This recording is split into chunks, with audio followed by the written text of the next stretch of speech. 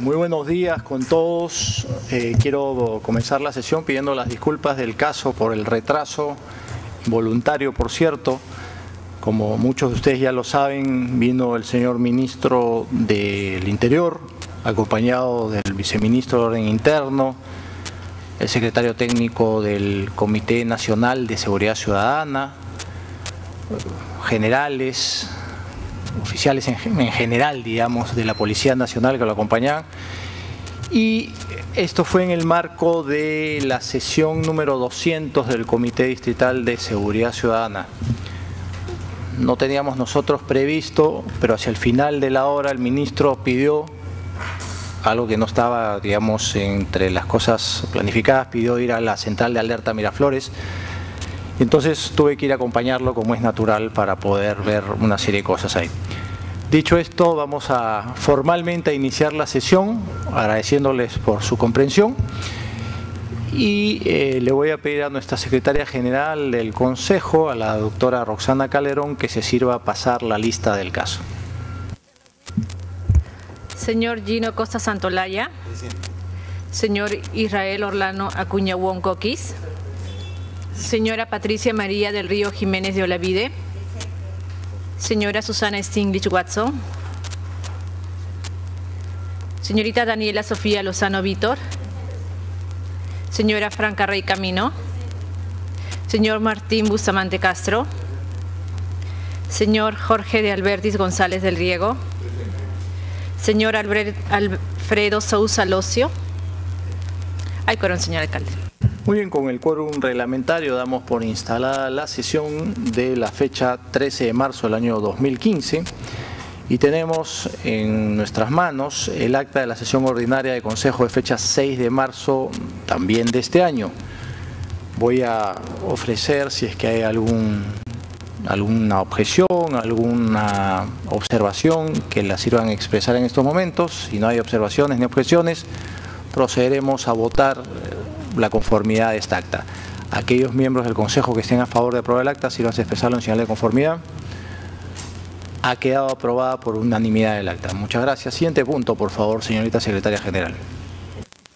Estación despacho. Señor alcalde, la Secretaría General va a dar lectura de una carta remitida por la Asociación Civil Abrigo y Protección al Desamparado. Señor Jorge Muñoz Wells, alcalde de la Municipalidad de Miraflores de nuestra especial consideración. Mediante el presente recibe el especial saludo de nuestra institución y sobre todo de los que se vieron beneficiados con el importe del apoyo que ha brindado a bien a nuestra institución. Mediante el presente nos dirigimos a usted para en primer lugar agradecerle por los bienes adjudicados según acuerdo de consejo número 012-2015 de fecha 30 de enero del presente año. Los beneficios obtenidos de tal donación han servido para implementar y financiar programas y actividades de ayuda social y educacional a personas con escasos recursos. Cabe señalar que ACOPRODE es una entidad de bien social sin fines de lucro con carácter asistencial que realiza obras benéficas a favor de los sectores más necesitados de la sociedad. Actualmente viene capacitando a cientos de personas entre jóvenes, madres y adolescentes de escasos recursos, ya sea en computación, tejidos, talleres, medicinas, charlas de sensibilización, etcétera, de acuerdo a las necesidades del caso. Esta labor es posible gracias a la generosa colaboración de empresas, instituciones públicas y privadas, así como el apoyo que ustedes nos brindan para así poder cubrir necesidades materiales, culturales, espirituales de los sectores más necesitados del país agradeciéndole reiteradamente por el apoyo y la ayuda brindada a nuestra labor de asistencia a las poblaciones de menores recursos económicos, quedo agradecida. Atentamente, la Asociación Civil Abrigo y Protección al Desamparado. Es todo, señor alcalde. Muy bien. Si es todo, entonces pasaremos a la siguiente estación, que es la sesión informes. Ofrezco el uso de la palabra si algún miembro del Consejo quiere hacerla. Señor Sousa Locio tiene el uso de la Buenas, buenos días a todos. Sin nada más para informar eh, que este domingo, el domingo 8, el domingo pasado se realizaron las elecciones vecinales. Eh, participaron 892 personas, votaron, 52 eh, de ellas por intermedio de voto electrónico y 840 eh, acudieron a, 11 centros eh, de votación. Esta es la votación más baja de los últimos años, por cuanto en el 2013 hubieron 1.214 votantes, en el 2014 1.246. Este año se presentaron 23 postulantes para 18 zonas. Solo superaron el número mínimo de votación, es decir, 40 votos, cuatro zonas que representan el 10% de las 39 que existen en la actualidad. Por lo tanto, vamos a tener representatividad, solamente en cuatro zonas de las 39. A mi entender, la pobrísima difusión y la falta de motivación son los principales factores de este poco interés vecinal de acudir a votar. Si el objetivo era tener cada vez menos representación vecinal, se ha logrado. De lo contrario, debemos tomar acciones y nos corresponde a nosotros como regidores y principales interesados en tener una activa participación vecinal revertir esta situación. Acordémonos que dentro de nuestras atribuciones como Consejo, la Ley Orgánica de Municipalidades nos faculta en su artículo 9, inciso 14, aprobar normas que garanticen una efectiva participación vecinal. Espero que este asunto se revierta como lo he manifestado. Gracias. Bien, eh, me parece la regidora Patricia del Río de Olavide también quiere hacer el uso de la palabra. Adelante, regidora. Sí, gracias. Bueno, yo difiero un poco lo que dice el señor Sousa. Eh, este año eh, tenemos, hemos tenido 24 listas postulantes para 18 zonas, cosa que mejoró lo del, lo del año pasado. Si puede acercarse un poquito al micro para que se pueda escuchar, gracias este, cosa que mejoró eh, las perspectivas del año pasado. Solo efectivamente cuatro zonas tuvieron la votación, pasaron los, 40 votos, pero son zonas ejemplares, porque, por ejemplo, tenemos una en la 7B de 186 votantes y la 1A de 140 votantes. Yo no creo que sea solo un tema municipal. Efectivamente puede haber habido pocas banderolas, pero sí sé, porque he hecho el seguimiento, que la Gerencia de Participación Vecinal ha hecho un seguimiento y ha hecho toda una campaña, sobre todo por las redes sociales. Y además, creo yo que el tema va por los mismos candidatos. Los candidatos deben buscar sus propios votos. La municipalidad y la Gerencia de Participación Vecinal los ha apoyado en hacer volantes, como repito, a través de las redes sociales ha habido una amplia difusión sobre los centros de votación, sobre las fechas, sobre los nombres de los candidatos, los sitios donde debían votar. O sea que creo que el tema no va por ahí. Yo creo que los candidatos son los que se deben preocupar, como ha pasado en la zona 7B, que han ido 186 votantes. Este, zonas, por ejemplo, como la, y voy a mencionar el señor Carrera, que sorprende que no haya llegado ni siquiera a los 40 votos, una persona que está siempre tan empeñosa en el tema en el tema participativo y en el tema de juntas vecinales. ¿no? Entonces, y además creo yo entender otra lectura. Nosotros ahora tenemos la participación vecinal de otra manera. Creo que se ha ido modernizando en el tiempo y tenemos ahora las audiencias vecinales, eh, la conexión con la municipalidad a través del Twitter, del WhatsApp, este, y todo eso apoya a que el vecino se sienta realmente eh, con la amplitud y la, confianza de poder venir a la municipalidad y poder hablar directamente con su alcalde y sus funcionarios. Por eso creo yo que la representatividad no es tanto porque ahora cada uno puede venir a la municipalidad, tiene todas las puertas abiertas. Hemos ganado mucha gente joven a través del WhatsApp. El mismo alcalde responde a muchas de las, de las preguntas y de las inquietudes de los jóvenes y de los vecinos.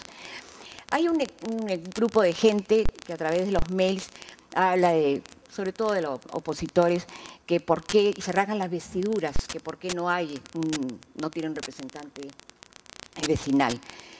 Mi pregunta va, ¿por qué ellos no se presentan como candidatos, ya que se rasgan las vestiduras de que no hay, este, no tienen su dirigente vecinal. Entonces yo creo que no es un tema eh, de la municipalidad, yo creo que es un tema de los mismos candidatos, como repito, que no han eh, hecho la suficiente labor, como lo han hecho algunos, en reunir a más de 40 votos. Se les pide para inscribirse 60 firmas. O sea, ni esas 60 firmas pudieron ir a votar por ellos. Eso es lo que es increíble en este, en este caso. ¿no? es un tema, yo creo, más que nada de los mismos postulantes. Eso es todo. Gracias, señor alcalde. Muy bien, muy agradecido, regidora, por su participación. ¿Alguna otra intervención en mesa? En segunda y última intervención, señor Sousa Locio.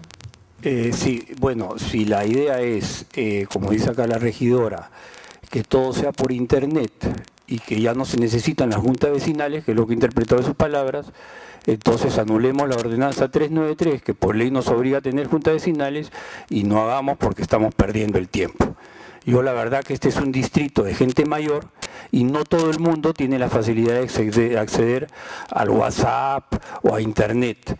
Entonces se han debido poner, como se acostumbra poner, banderolas en diferentes postes, eh, eh, eh, incitando a la gente a que vaya a votar, que es bueno participar, etcétera, etcétera, porque como repito, este es un distrito que hay mucha gente mayor que quiere colaborar.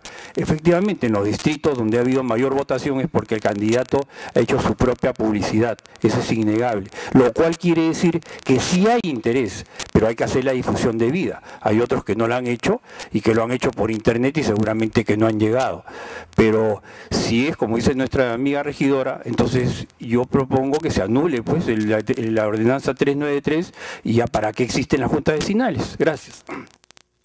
Bien, eh, una segunda intervención, regidora. Poco creo que se trate de anular las juntas vecinales. A lo que voy es que cada candidato Por favor, lo que quiero pedir para respetar el reglamento es que no, haya diálogo, ¿no? sino expresión de conceptos. Deben preocuparse los candidatos, como se han preocupado en cuatro zonas, de conseguir su propia votación y de mover el tema de, la, de las juntas vecinales. La municipalidad ha hecho lo suyo. Reconozco que pueden haber habido un poco más de banderolas, pero sí en las redes sociales sí había la información debida y sé que la Gerencia de Participación Vecinal lo ha hecho en forma constante durante todo un mes de comunicar a los vecinos. Gracias. Muy bien, muy agradecido. ¿Alguna otra intervención en mesa? Si no hay más informes, eh, vamos a pasar a la siguiente estación. Siguiente estación entonces, por favor. Estación pedido, señor alcalde, no se encuentra ningún documento por escrito presentado por parte de los miembros del Consejo Municipal. Estación Orden del Día. Proyecto de acuerdo de consejo que aprueba la suscripción del convenio marco de cooperación interinstitucional entre el Ministerio de Comercio Exterior y Turismo y la Municipalidad Distrital de Miraflores, con el objeto de que ambas instituciones orienten sus esfuerzos y apliquen sus capacidades y recursos a fin de lograr el desarrollo del turismo sostenible y responsable en el distrito de Miraflores. Muy bien, tenemos esto que viene de comisiones, hay un dictamen de una comisión conjunta de temas jurídicos y la Comisión de Educación, Cultura y Deporte. Entiendo que están absolutamente de acuerdo, pero sin, sin perjuicio de eso ofrezco el uso de la palabra. Si hay alguien que quiere intervenir, le vamos a dar uso de la palabra a la regidora Franca Rey. Gracias, señor alcalde. Buenos días. Yo solo quiero eh, rescatar eh, que durante la comisión tuvimos la participación de la regidora Stiglitz con un buen aporte. Eh, ella sugirió que como apoyo de la municipalidad pudiéramos compartir con el MINCETUR todo aquello que estamos haciendo para acercar a las personas con habilidades diferentes a los temas de cultura y turismo en el distrito, que no son pocas cosas. Estuvimos de acuerdo todos, pero como se trata de que ahora estamos aprobando un convenio marco, lo íbamos a dejar más adelante para cualquiera de los que viniera específico. Gracias. Muy bien, hay que tener en cuenta esa, idea y ese aporte, ¿no? Muy bien. No sé si hay alguna otra intervención. Si no hay más intervenciones, procederemos a votar. Aquellos miembros del Consejo que estén a favor de aprobar este proyecto o este acuerdo que se quiere llevar a cabo, síganse empezarlo en señal de conformidad. Aprobado por unanimidad. Muchísimas gracias. Siguiente punto, por favor. Proyecto de acuerdo de consejo que aprueba la suscripción del convenio de cooperación interinstitucional entre la Municipalidad de Miraflores e IMB Sport SA, Escuela de Fútbol Oscar Ibáñez, con el objeto de desarrollar mecanismos e instrumentos de mutua colaboración y beneficio con la finalidad de fomentar la actividad física, la salud y la cultura deportiva en el distrito de Miraflores. Al igual que como el caso anterior, veo que hay un dictamen conjunto de dos comisiones, Entendería también que esto viene con absoluta unanimidad, pero sin perjuicio de eso ofrezco el uso de la palabra. Si no hay ninguna intervención, procederemos a votar. Aquellos miembros del Consejo que estén a favor de aprobar este proyecto, sírvanse a expresarlo en señal de conformidad. Aprobado por unanimidad. Muchísimas gracias. Entiendo que no hay más temas. Si esto es todo, vamos a pedirle a los miembros del Consejo la dispensa de aprobación del acta para la ejecución inmediata de los acuerdos tomados esta mañana. Aquellos miembros del Consejo que estén a favor de aprobar esta dispensa y esta aprobación, síganse expresaron señal de conformidad.